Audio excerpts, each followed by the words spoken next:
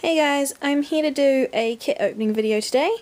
I've got two kits to show you and I am currently in the process of baking a baby so I'm going to do this a little bit faster than usual, hopefully. So as you see the first kit is already showing. I've opened the box again, I've been really busy once again so um, I'm just going to get straight into it. This kit here is a twin that I've already done um, though I'm not keeping this one. Um, if you can't tell that it has full legs and three quarter arms, who this kit is yet. It is The Sugar by Donna RuBert. Um, I've already done the Honey kit, which is my Amelia, which you can kind of see down there.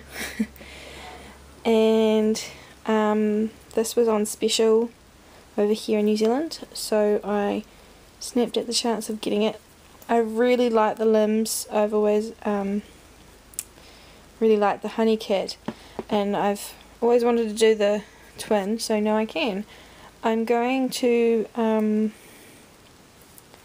do him, as you can tell by saying him, as a boy, not a girl. Um, I know a lot of people like Sugar as a girl, but um, my Honeycat's a girl, so that's why I'm doing him as a boy. Again, I'm not going to keep him. And he will be for sale at some point. His head is so much bigger than Honey, well, Amelia's. So pretty though. I'm sorry about the lighting. My room's a bit different in colouring today. I just love the detail on both the honey and the sugar and he'll be the first kit that I've done with like a slightly tilted head. It looks really weird like that, but when you think of it, he's all snuggled up into the side of um, his bedding or something, and he'd look really sweet. My aunt really likes this kit. She saw him yesterday and fell in love. so, hopefully he'll sell. If not, I'm sure she'll take him. and then the other kit is at the back here and he is the Tristan by Laura Eagles. And I admit when I very first decided to buy him he was going to be a sale baby. Again I just had no like I loved his limbs but I had no interest in him. But when he arrived I fell so in love with him that he is now going to be part of some changes in my nursery. Um, and I will do a video about that probably next. He is just so well detailed and I've this is my first Laura Lee Eagles kit but I've always liked her work because she's got quite different looking kits compared to the traditional babies I guess. They don't look pleasant all the time and that's what I really like about it. It's more realistic.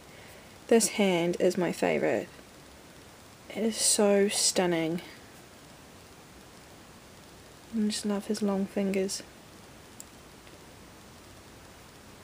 He's so chunky up here as well, it's so pretty. And then his other hand. I just love all the detail.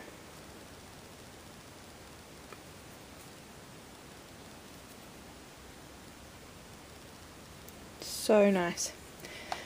And like I said, his face at first I wasn't fond of, but I've come to really like it in person. I think it's just one of those kits where you either like it or you don't. So he doesn't look very pleasant. He looks a bit sad. But he reminded me of someone and so I've decided to keep him on that based reason only. And because those limbs are so freaking adorable. But he actually, I really like him now. and like the fact that he looks sad so you need to mother him almost. So pretty. And I have ordered him some eyes, um, if his head will stay. I can grab them, where did I put them?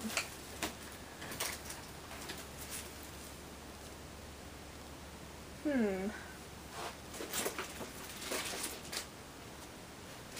Here they are. Sorry. So here are his eyes. They're like a light blue. They don't look that bright in person. They actually have like a um, sort of like a darker colour in the centre that's before the iris, but it's not really showing up. Kind of makes them look grey.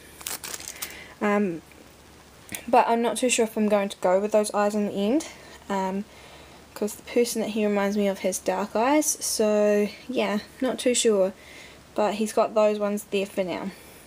Anyway, this was my video. Thank you very much for watching, and I'll be back soon with more updates. Bye!